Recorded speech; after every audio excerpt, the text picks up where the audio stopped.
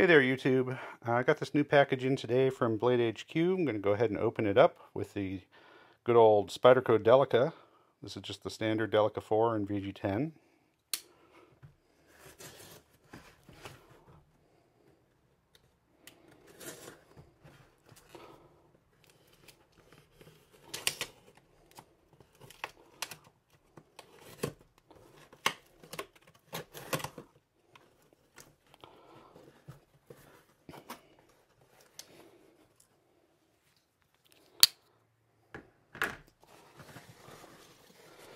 And it's another Spyderco. Surprise, surprise. I've been buying a lot of Spydercos lately because they had a, uh, sale in July where they relaxed their map prices, and then they had uh, a factory second sale, and now they have a sale in August on things that have been discontinued, uh, which is what this is. This is a discontinued knife.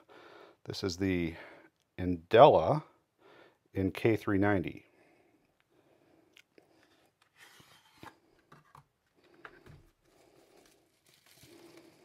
And it's a little special because it also has a special blade shape. It's not the typical Endela uh, blade shape, blade profile. It is a Wharncliffe profile. Um, so the Endela normally looks, the, the shape of the blade at least, normally looks more like this. This one happens to be in Damascus, but it's the standard blade shape. Uh, here's another one. This is an Endela in um, CruWear. Uh, so it's just, you know, most of the knives I have are not quite just the standard version of things. But um, that is the regular blade shape of the Endela. And then in, in this case, we have completely flat edge, completely straight edge, uh, and then continuously dropping spine from way back here. And that gives us a traditional Wharncliffe shape. Um, you could call the standard shape kind of a modified Wharncliffe. It has some belly, right, which makes it not really a Wharncliffe. Uh, and it has mostly, you know, a, a, clipped profile and then a little drop at the end. Um, this is similar blade shape to what we see in other uh, lockback Spydercos from their Seki City, Japan uh, production facility, they have this, um, you know, with the Delica and the Endura and the Endela, uh, we see this profile that has a sort of a long clip, clipped point with a little drop at the very tip, and then uh, some straight edge, but with a bit of belly. So we get some some straight area through here, and then gradual, uh, gradual belly. Um, the Endela is designed to be an in-between knife between the long-standing Delica, it's a little bigger than a Delica, and the Endura, okay, here's a ZDP 189 Endura. Uh, again, it's a little bit of a special knife, but it's the standard blade shape and size for an Endura. So what you can see with the uh,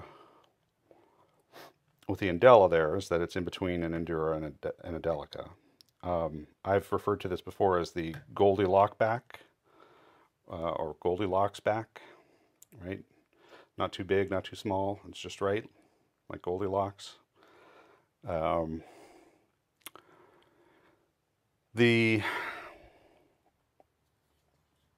Wharncliffe that's being discontinued um, is it's a bit of a shame to see uh, see this knife discontinued because um, first of all K390 steel is fantastic.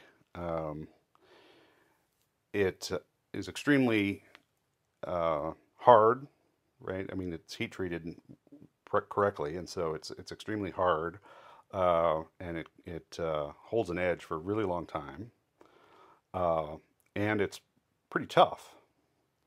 Um, and the Wharncliffe profile is extremely slicey. So this knife uh, ought to be extremely good at things like breaking down boxes. And um, my, my box cutter recently has been a Delica. Uh, this one is in CPM S30V, okay, which has the advantage over K390 of being stainless. K390 is not stainless, but K390 has better edge retention and more toughness than S30V. S30V is a pretty good steel. You've heard if you follow this channel, you've you've heard me um, say many times that uh, S30V still to this day is a, uh, a pretty respectable steel. Um, but if I'm breaking down a big pile of boxes, this does dull out a little bit after a while. And the edge geometry is so slicey that it still cuts, but at some point it starts pushing cardboard, and you get cardboard being sort of like pushed into the channel that you're cutting as opposed to being sliced through. Um, and uh, the K390 ought to stay sharp longer. Um, it's not quite as thin blade stock as the Delica. Hair on that. Sorry about that. Um, but uh, it's pretty thin and it's a full flat grind. So this should be um, an outstanding knife for breaking down boxes and stuff like that. Um, you know, the in, Endela size is in between, as I said, uh, what do we have here? Now this is another Endela. The Endela, the size of the Endela is in between the Endura and the Delica. But that's also what we say about the Stretch 2. It's in between the size of the Endura and the Delica. Uh, the Stretch 2 has a little bit different blade profile to it. It doesn't have that little subtle drop at the end. Um, it has pretty much a straight clip spine. Um, and it has a little bit more belly, especially at the tip, uh, than either the Endura or the Delica or the Endela. So if we're just comparing uh, a Stretch 2 and an Endela Wharncliffe, um, they're almost sort of like inversions of each other, right? Like this is almost upside down version of that.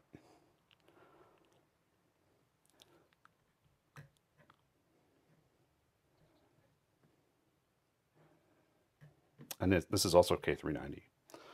Um, so I'm a little sorry to see these go out of Spyderco's regular production catalog. Um, I have a few knives in K390. They range in size all the way from, you know, like the Manbug and uh, Ladybug up through the Endura.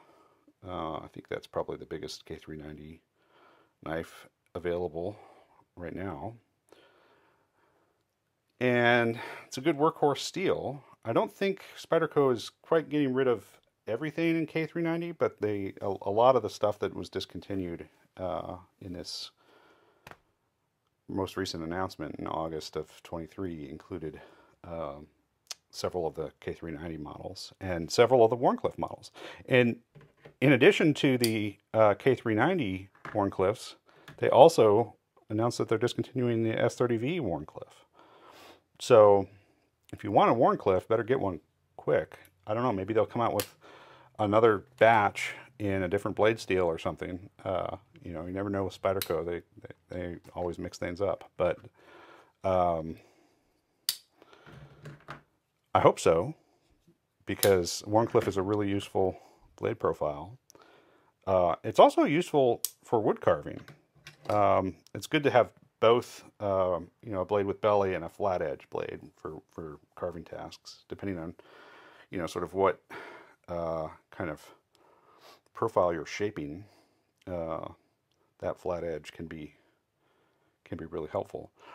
Uh, a couple of size comparisons. So we already did the Endura and the Delica next to this thing. Um, let's see it next to a Para 3 and a Paramilitary 2. Okay, similar. It's, you know, a little closer in size to the Paramilitary 2. Um, let's compare it to some Benchmade knives, if you're more familiar with those. Um, here it is next to a Bugout. About the same.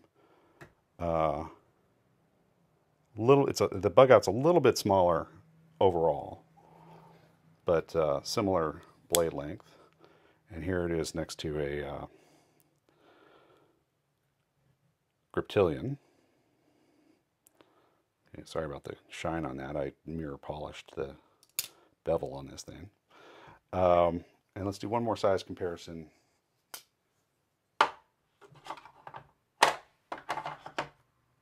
Here it is next to the Rat Model 1 and the Rat 2. And again, it's sort of in between, right? a little closer to the rat one, but also a little a little smaller overall than the rat one. And again, it's kind of an inversion of the blade shape, right? This thing has almost a straight spine.